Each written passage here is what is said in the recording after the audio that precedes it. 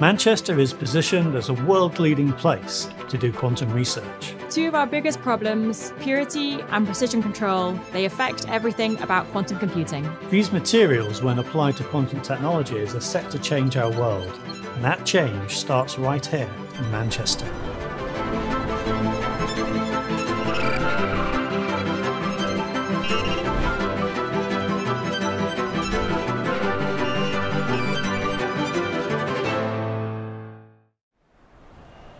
So Manchester has always been at the heart of developing new technologies. We had the Industrial Revolution, which started in Manchester, and then we had the splitting of the atom by Rutherford.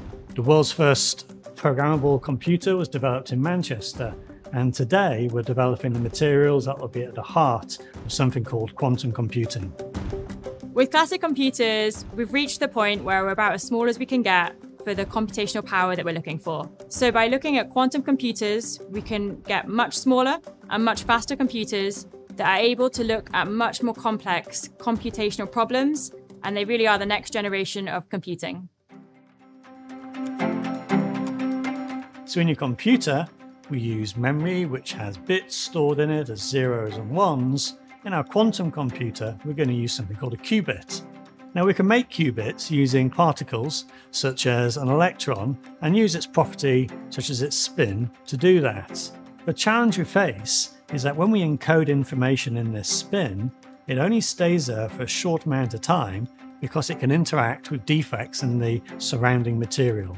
Our challenge is to remove those defects, and at Manchester, we're doing that in silicon by making ultra pure background materials in which to hold our electrons.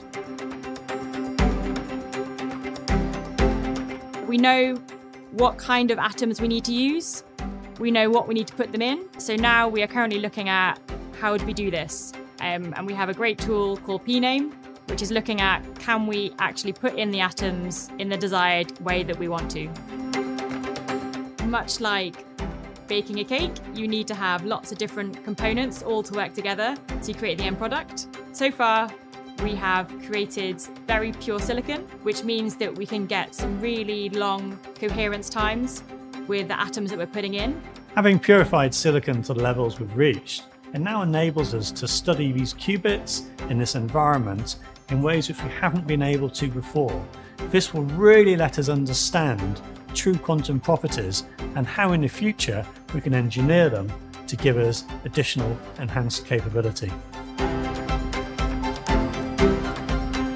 Applications of quantum computing go way beyond cryptography. For example, we might be able to design materials to create future batteries, or even design a drug for an individual to treat a particular disease. The potential of quantum computing in the future is endless.